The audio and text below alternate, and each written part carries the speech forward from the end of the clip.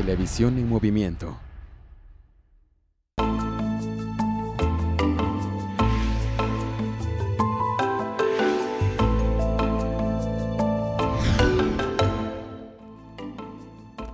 ¿Qué tal amigos? Muy buen día. Estamos una vez más aquí en su emisión de su programa Médico de Cabecera. Hoy lunes 7 de, de- de noviembre ya estamos transmitiendo en vivo aquí en Belisario Domínguez 1200 en la colonia Reforma. Ya saben, comuníquense con nosotros 205-6300. Vamos a estar tocando el, el día de hoy un tema de salud que es muy importante. Acaban de pasar los, los muertos, se acerca el invierno, el clima está cambiante y nos genera muchos cambios en, nuestra, en nuestro medio ambiente.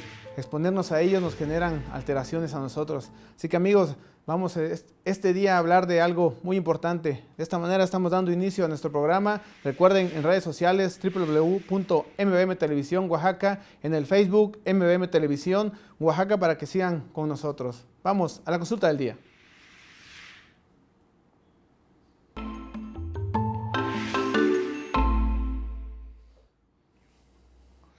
Como les decía, el medio ambiente está cambiando, el clima está, está muy, muy cambiante, muy raro, en donde nos exponemos a, a este tipo de situaciones y nos afecta muchísimo. Tenemos el día de hoy a una, una invitada, la doctora Elizabeth Xochitl Díaz San Juan. Ella es otorrinolaringóloga. Vamos a hablar de, de infecciones respiratorias. Doctora, bienvenida. Buenos días, gracias. Doctora, hablar de infecciones de vías respiratorias, ¿a- ¿qué es eso? ¿Qué, ¿Por qué nos exponemos a este tipo de, de situaciones? Bueno, generalmente el- las infecciones de vías respiratorias se deben frecuentemente a los cambios bruscos de temperatura. Siempre va a haber más infecciones de vías respiratorias en los meses de otoño e invierno que en, las otras estaciones del año como la primavera o el, o el verano. Claro, si hablamos a lo mejor de enfermedades como las alérgicas, igual se van a presentar en los meses de primavera por la polinización que existe en el medio ambiente. Doctora, hablar de, alergias. En programas anteriores platicamos, tocamos ese punto en donde los niños, en este caso, llegan a, asistir al médico, al pediatra, con situaciones de, lesiones o, reacciones en garganta. ¿Cómo determinar ustedes como otorrinolaringólogos que no es una alergia y que puede ser probable una infección? Sí, generalmente la población más desprotegida son los niños y entre más pequeños es mucho más difícil hacer un diagnóstico porque eh, los médicos nos guiamos generalmente por el interrogatorio que le hacemos a los padres. Si los padres observan bien a sus hijos, pues nos pueden dar síntomas más fidedignos que si no lo hacen, ¿no? A veces divagan un poco cuando uno los interroga sobre la sintomatología de su hijo. Entonces, estamos ante un paciente al que no lo podemos interrogar de manera directa, sino de manera indirecta a través de los padres. Y generalmente, pues las infecciones que frecuentemente podemos ver en los niños va desde las rinitis, que son las gripas común y corriente como conocemos. Hay otra entidad que se llama adenoiditis y que a veces si empiezan con una rinitis pueden terminar con una rinoadenoiditis, o sea, ambas enfermedades juntas, o bien una amigdalitis. Y de ahí pues pueden eh, seguirse enfermedades eh, de vías respiratorias bajas. Normalmente las, vías respiratorias bajas las consideramos de la laringe hacia todo lo que son pulmón y vías respiratorias altas las consideramos de laringe a la nariz. Aquí en este caso, doctora, hablar de adenoides, creo que es un tema que, o un punto que pudiéramos explicarle a, a la audiencia porque en los niños existe y en los adultos va, va desapareciendo. ¿Por qué? Sí, generalmente el- las adenoiditis únicamente se dan en los niños y únicamente en las edades desde recién nacidos hasta la edad más o menos de 8 o 9 años. Después de esa edad las adenoides involucionan, quiere decir que empiezan a desaparecer y por lo tanto va a ser más frecuente esta enfermedad en niños pequeños. Eh, generalmente empiezan con una gripa común y de ahí si se atiende bien esa gripa, puede quedarse así como gripa, se quitó el cuadro y hasta ahí terminó ese cuadro infeccioso. Pero si la gripa no se trató bien o a veces no terminan bien el tratamiento los niños, entonces esa enfermedad se puede prolongar y entonces pasa de ser una rinitis o una gripa común a ser un cuadro de rinoadenoiditis. ¿Qué es la adenoiditis? Bueno, la adenoiditis, decimos, es una inflamación de las adenoides, pero ¿qué son las adenoides? Las adenoides es tejido que está en la parte posterior de la nariz. La parte anterior pues, son las fosas nasales, por donde nos entra el aire. La parte posterior es donde termina la nariz. Entonces las adenoides es una angina que está hasta atrás y por arriba del paladar. Ese tipo de tejido no se ve a simple vista. Más que nada el diagnóstico lo hacemos clínico en la fase aguda. Cuando ya es una adenoiditis de tipo crónico, pues entonces ya nos ayudamos con estudios de laboratorio y estudios de gabinete como son los rayos X. Aquí también existen las amígdalas, ¿no? Es, un, círculo, un anillo que nosotros tenemos como barrera de defensa para, para, cuando nosotros filtramos el aire, de alguna manera, ahí es por eso que se inflama, ¿verdad, doctora? Así es. De hecho, tenemos eh, un anillo que se llama de Waldeyer, ese anillo que usted menciona está formado por las adenoides, está formado por las amígdalas palatinas, que son las amígdalas que normalmente vemos y que eh, comúnmente las conocemos como anginas, y hay otras amígdalas que están en la parte posterior de la lengua, que se llaman amígdalas linguales. Estas están, todas estas anginas o amígdalas están unidas por bandas faríngeas, que son esos pilares que están a los lados de las, de las amígdalas o anginas y este tejido nos sirve de protección, o sea, es la primera barrera y de hecho la más importante que tenemos en vías respiratorias porque nos protege de las vías respiratorias, pero también protege de la, de la, a la vía digestiva de infecciones digestivas, obviamente.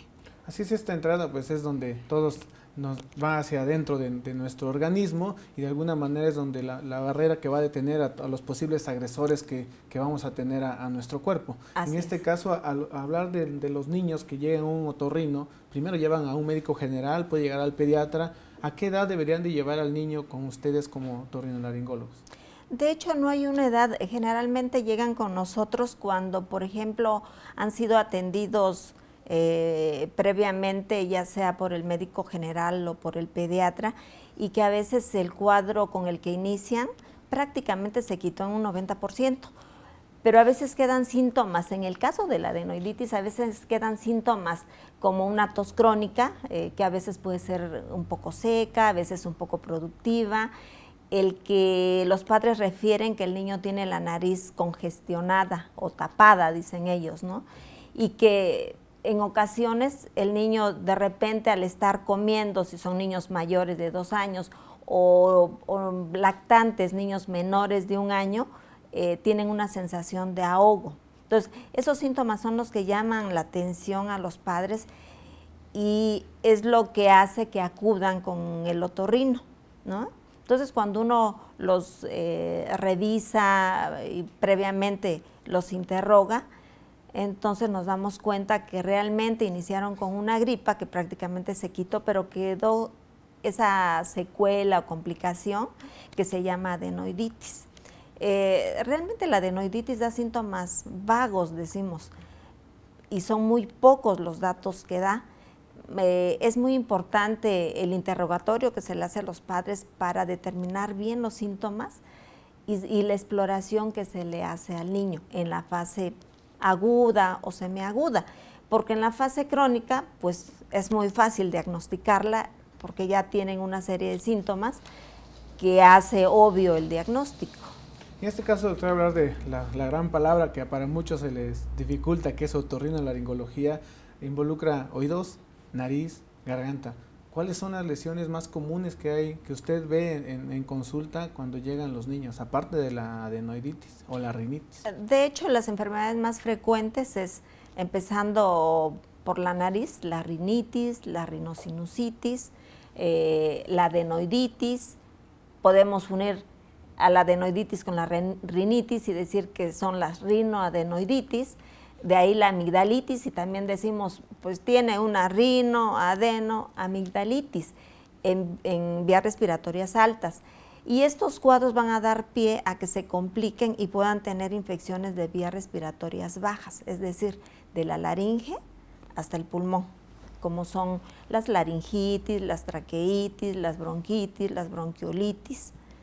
y que estas generalmente van a ser secundarias pues a una infección que inició por la nariz.